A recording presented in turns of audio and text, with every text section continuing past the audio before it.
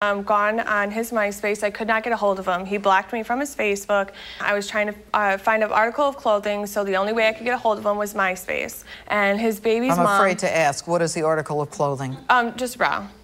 A bra? A bra. She posted it on my MySpace wall. She couldn't message it to me. She posted it on my wall for everybody to see. How does that look when some girl's posting on your MySpace wall, oh, I left my bra over at your house? Mm. The same weekend that my that? daughter's over, we have an agreement between me and my kid's mom to where we're not allowed to bring my daughter around other people. so when she posted that on my MySpace wall, it made it look like my daughter was around a bunch of these chicks. Did that you know? affect your visitation with your daughter? It does. I don't have her for overnights anymore. How do you feel about that, that he doesn't have her for overnights because you had to post on his wall, where's my bra? Um, it wasn't legally, but you know, if it's legally like that, then yeah, I feel horrible. What's but legally? What do you mean it wasn't legally? legally? It's just her mom, uh, his his baby mama She has is not custody over him. is not Or her. is- Don't talk legally if you don't know what you're talking about.